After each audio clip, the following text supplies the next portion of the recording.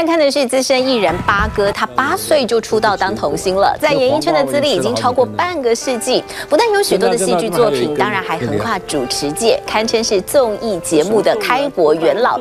曾经红到每天晚上打开电视机都会看到他，一年三百六十五天，只有过年休息五天。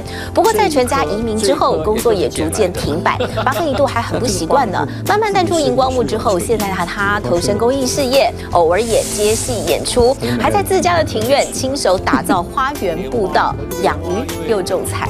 是去年种的，这辣椒怎么都不都不结果啊？那黄瓜我已经吃了好几根了，真的真的，这边还有一根，这里啊。这不是什么观光菜园，通通可都是八哥亲手种的，就在自家庭院打造开心农场。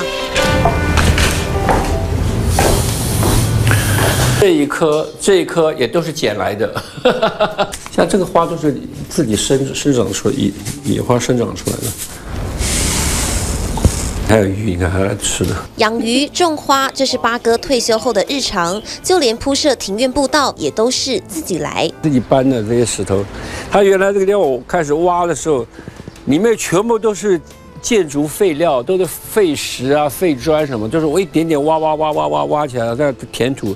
然后再去买那个草皮自己铺的。坦言当时累到腰都直不起来了，八哥笑说就当是一种运动吧。在他家里的客厅还挂有一幅巨型全身画像。这个画像是我在跟华视抗议的时候被封杀了一年多，所以封杀的意思就是说。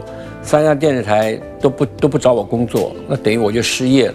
然后那时候穿这个礼服是双星报喜的礼服，因为那个时候已经没有机会穿礼服了，所以就穿了来画一个画做纪念。双星报喜改成蓝白对抗的心态以后，今天已经播出第四十一集了。说的就是三十年前这个节目，八哥和周美仪一起主持，还两度拿下金钟奖最佳节目主持人奖。就是我啊，就是就是我啊，我跟邹美，我演艺伎啊。反串，他演女的演男的，我男人演女的嘛。翻开旧照片，回忆满满。但八哥当时因为向电视台争取艺人权益，结果遭到封杀。之后到台视呢，就就就一年嘛，大家观众蛮替我打气，所以我这个节目都蛮受欢迎的，所以蛮多带状的。张荣你好，对，你是我们国内啊最受欢迎的港星之一，尤其在前一阵子《倩女幽魂》当中啊，演出那个老师的书生呐。呃，叫什么名字啊？宁采臣啊！重返荧光幕，八哥气势更旺。每天晚上打开电视都是他。从六点开始强棒出击，到八点档邮差总是按错铃，九点半女丑剧场，十点王牌登场，周末还有就在今夜。那那个时候好像开玩笑讲说，除了新闻我没报，其他都是几乎都开始都看到了。嗯，那时候。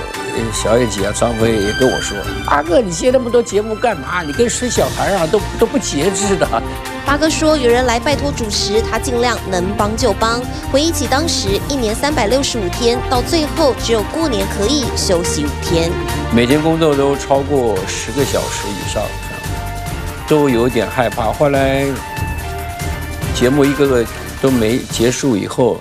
人家在请我特别来宾到摄影棚，我进了摄影棚里面就会有一种压力感。堪称综艺节目的开国元老，八哥纵横主持圈地位举足轻重。不过童星出身的他，其实是从演戏开始。这是我，你看，这是他最早的剧照。这是民国五十二年才八岁的小小八哥，眉清目秀，相当可爱。因为姐姐觉得他很活泼，就帮他报名演戏。那拐表姐做新娘，我来做新郎。不，你太小了。这，这是游戏。假装的吗？在经典的婉君表妹演活一个调皮的小男孩，十二岁更在第一部来台拍摄的好莱坞电影《圣保罗炮艇》演出卖鸟的小孩。六个钟摆。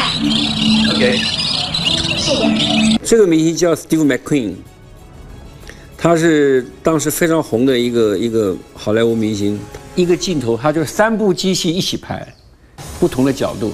然后他们没有试戏的，他跟你讲就开始拍。到了小飞侠，十六岁的八哥手挑大梁，第一次演男主角，还要吊钢丝飞来飞去。这拉到空中好高啊，大概有哦，大概有两三层楼高哦，因为片场都比较高嘛。然后在上面晃来晃去的，那个蛮可怕的，完完全没有什么安全措施，那要摔下来就死掉了。要摔死了呢，也就死掉了，也没什么保险，也没什么都没有。现在想想是蛮恐怖的。从小演到大，也奠定八哥的硬底子功力。订婚呢，还得有个信物比较好。这个戒指，我看你还是戴起来。哎，等一下，又又怎么？这么大的事情，我总要……你还要考虑啊？无论是要演好好先生，或是化身贪污好色的法官，截然不同的戏路都难不倒他。再多的钱也没你手值钱呢。哎呦，我可不是你酒店里认识的小姐。哎呦，今天我们快走啊，不多陪陪我。电视剧加电影演出超过五十五部，八哥能演又会主持，只是演艺圈有起也有落。一九九五年全家移民后，演艺工作也逐渐停摆，生活顿时失去重心。手机就放在家里面，一直都不会响。那时候手机不通讯不像现在这么好嘛，那个时候还是还是类比式的嘛。嗯，那敢用我们家电话打开看会不会响？哎，响了，哎，表示什么？还是通着。过一会儿，哎，奇怪，怎么一个未接电话？谁打的？就开始自己打的。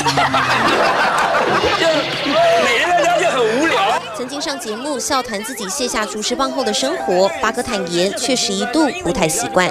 不管是家庭啊、事业都非常空虚的，嗯，对，那段时间就是也是走过来了了，啊，反正现在已经雨过天晴了。我继续发光，让大家的生命都亮起来，好不好？好。近年生活重心放到公益事业，八哥成为台湾优质生命协会理事长，看到许多人生冷暖，艺人好友李明一、向蛙、陈美凤等也纷纷力挺，可见八哥的好人缘。我们这个协会都是一些呃资深的艺人，大家一起在一起，就是群策群力啊，来来来来努力做这个。现在他偶尔接戏演出，先前担任金钟奖评审，直言吴宗宪的综艺玩很大，不是收视高就要入围。一代主持天王，三十年过去，依旧有话直说。请支持 TVBS 国际 Plus 全新频道，让您扩大视野，掌握趋势，接轨全世界。恳请订阅，开启小铃铛。